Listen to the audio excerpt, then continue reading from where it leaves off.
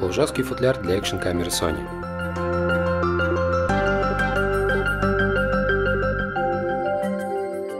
Этот компактный футляр изготовлен из водоотталкивающего материала и обеспечивает надежную защиту при транспортировке и хранении вашей Action Cam Sony и аксессуаров для нее.